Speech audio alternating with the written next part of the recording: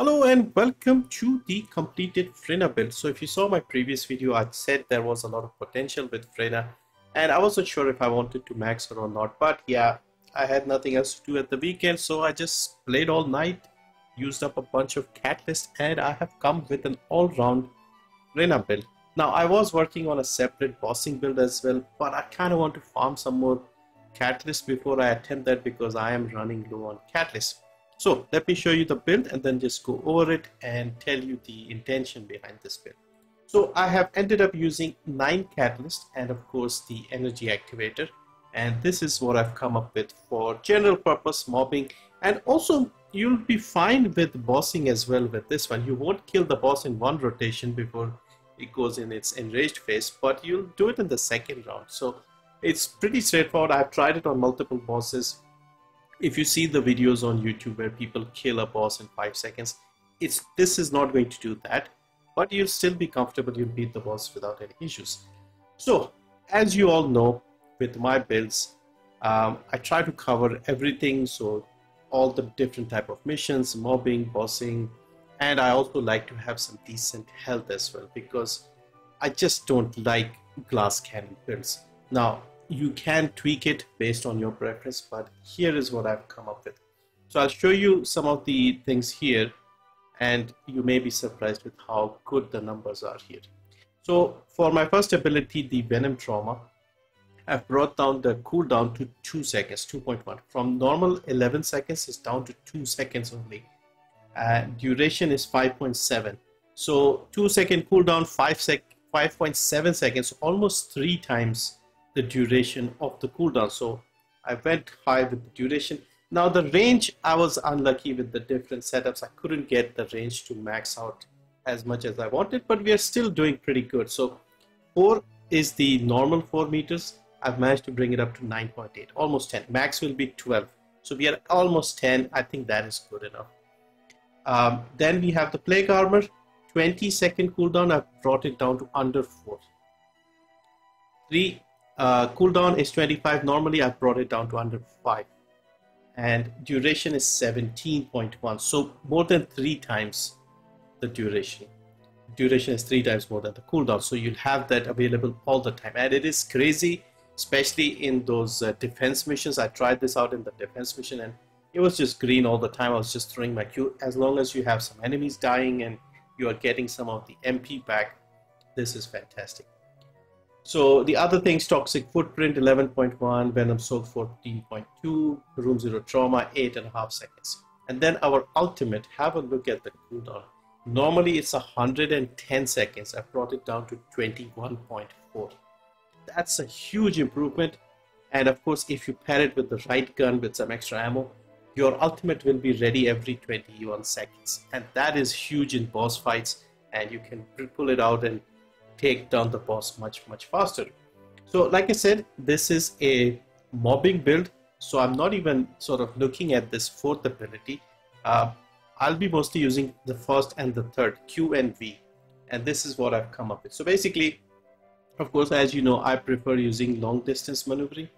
So we have that here for the sub module for the transcendent module we are going with contagion. So if you saw my previous video contagion removes the poison or the final thing that is added in the uh, new update. And it just creates more explosions. When an enemy dies it creates an explosion transfer the puddle and the room zero trauma. So it just creates a massive puddle. So if you hit one enemy with your q they die they explode they create puddles. And it's a 50% chance i believe. But it does a lot of damage. So i think if you see here we have 50% toxic puddle spawn rate. So if you're killing a lot of enemies, half of them will create puddles which will spread to other places. Some, sometimes the damage was going so far that I was just wondering like how, how did that guy get, how, how is that area green all the way over there? It was that impressive. Now, of course, we need to reduce the cooldown as you saw with how low the cooldown is. I'm using cooldown. We are losing a little bit of MP because of that, but we are getting a massive reduction in the cooldown. Then we have a couple of health mods because we need a little bit of health. As you know, I like to put health. Also, we are losing some shield from this one. Uh, then we have amplification control. So I have this one to increase the range and we are getting our shield back, which we are losing here. So shield is at zero basically, but uh, we are not losing anything at the moment. Increase defense and we have these two mods. This is where our power comes from, focus on tech and focus on toxic. And we also get some more cooldown from these two. So we are getting uh, for the 12.2% with these two. Um, where else were we getting that thing? 36% here. Total, we are 74% uh, skill cooldown. That is quite a lot as you can see. Then we have these two for range and duration. So your range of your toxic stuff, we need to increase that and duration. Both these two things will help spread this uh, venom, poison, zoom zero trauma to enemies and just help out. And then nimble fingers for more cooldown. Now you could swap this out for something else because we already have so much. We have 74, 75%. If we remove this, we'll be still at 50%, which will still be amazing. So if we see here, we are still at five seconds. So more than the cooldown. Uh, the duration is still more than the cooldown. Uh, nine here, but over here you can see it's 50%. So yeah, I, have kept that because I'm trying to go for a very low cooldown, so I have things available all the time. Nimble fingers. Let's put that back here. So this is the module setup, but of course this build is not complete without looking at the external components as well and the reactor. So the reactor I have is the same one I've been using previously It's for the secret garden. Again, it gun doesn't matter in this build because you'll be using your abilities to do everything. So this is basically a good alternative to bunny. And yeah, you can just spread toxins everywhere. I was completing infiltration dungeons without using the gun, even plus, even with the boss. So once again, with this reactor, I got a bit lucky. I got good cooldown and also skill critical hit damage. So a little more damage from the skill. Now there are a few other modules, uh, reactors that I've saved up. So for example, this one, this is basically the same thing as the other, but this mounting is for Nazeistra's Devotion. Cooldown is even better. Um, skill critical hit damage is about the same, but 62, 6.2% uh, and 7.4 doesn't make a huge difference. If I'll just put it to show you that you only save a fraction.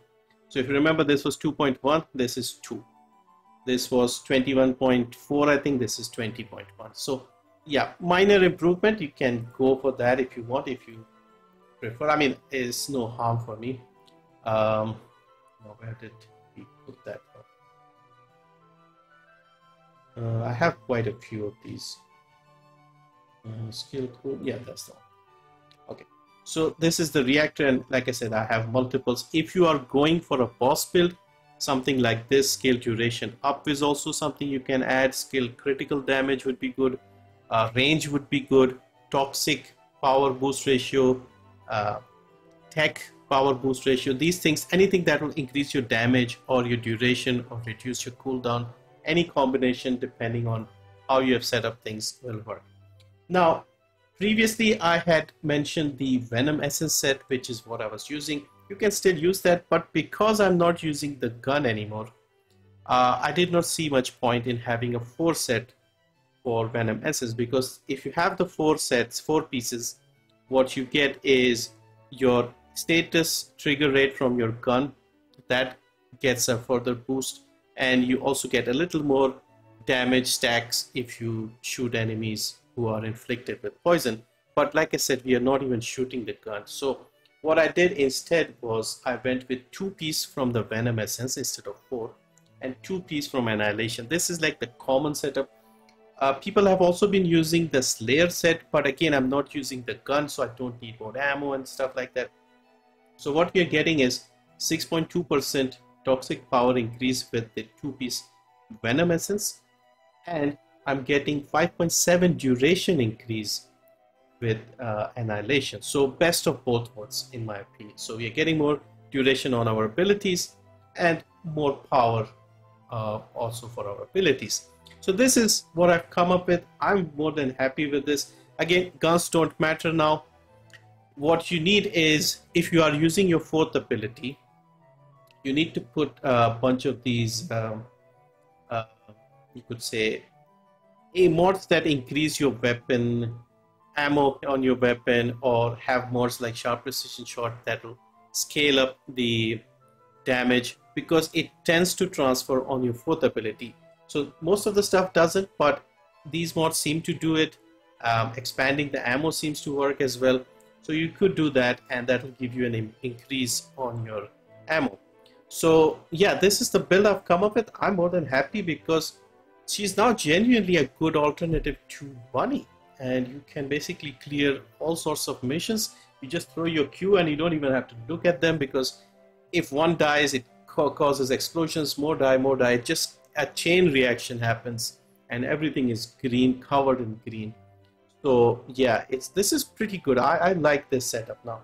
So yeah Freyna is in a very good spot and with the time I've spent uh, coming up with this build when Ultimate Freyna comes in I could just simply use the same setup uh, I wish it was uh, possible for us to just transfer all our progress and the catalyst straight to the ultimate because then I have everything ready. But yeah, I decided to use up my catalyst to come up with this because it was something that I was thinking all the time and I was coming up with builds in my head when I was lying in bed. And I thought, okay, why not just do it? I have a lot of blueprints for the catalyst. I'll just farm and research a bunch more before Ultimate comes out so as long as I have like 10 extra, I should be good. I have another three for uh, energy activators as well. So I'm good for Freyna. So yeah, let me know what you think. Um, I'm more than happy with this. Of course, you can tweak a few things based on how you play. Also wanted to mention the health and damage. As you know, I like to have decent health and damage. So with this build, I've ended up with 15,500 health and 17,500 defense. Because of these mods I did a lot of runs on the Devourer and um, the Swamp Walker to get the right but balancing them to get normally I like to have 25,000 defense and 10,000 health but uh, that wasn't possible so I think this is good enough. We also have a lot of shield which most people don't care but as, as something else there to help you out. MP more would be nice but this wasn't uh, feeling like I was low on MP or anything. So yeah, overall, I'm very satisfied with this build. And yeah, I'll find something else to do for the next 10 days because we're still 10 days away from the big patch where Ultimate Freyna comes. But anyway, hopefully this was fun and interesting. Thank you for watching. See you next time.